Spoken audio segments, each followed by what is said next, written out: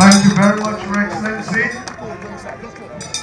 Sure Vice President Yemi Osinbajo praises the efforts of Governor of Delta State in constructing the Federal Road Safety Corps Marshal Inspectorate Training School in Owa Alero, Ika Northeast local government area of Delta, describing it as an important contribution that will enhance the management of road safety in the country.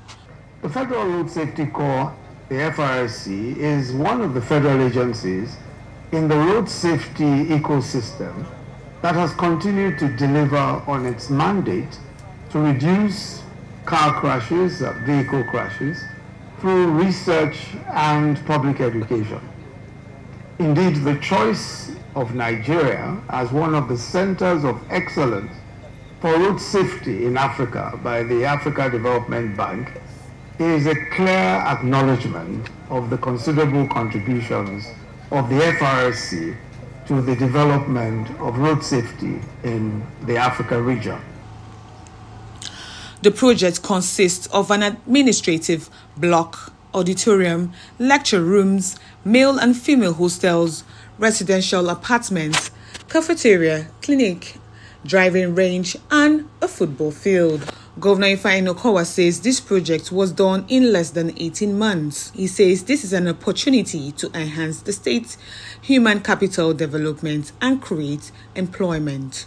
This project that is about to be commissioned is a good example of what can happen when there is understanding, cooperation and synergy between the national and subnational governments, irrespective of political affiliations.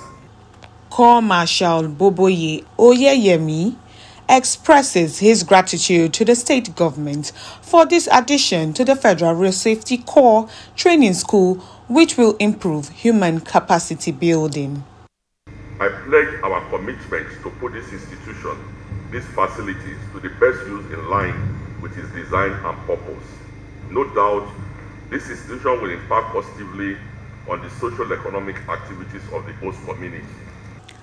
Delta State government hopes to empower the people by bringing more infrastructure, employment, and development to the people.